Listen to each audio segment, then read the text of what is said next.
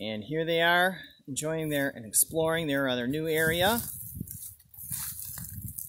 They just uh, tested the electric fence and found it wasn't uh, too appetizing. they uh, after the first day, they, they learned pretty darn quick about the electric netting and and know to respect it.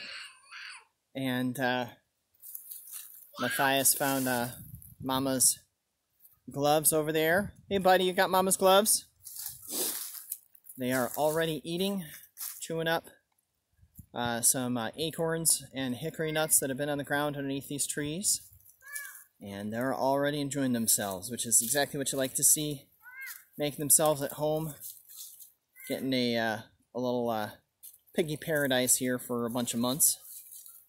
And uh, enjoying the leaves. It's nice to see.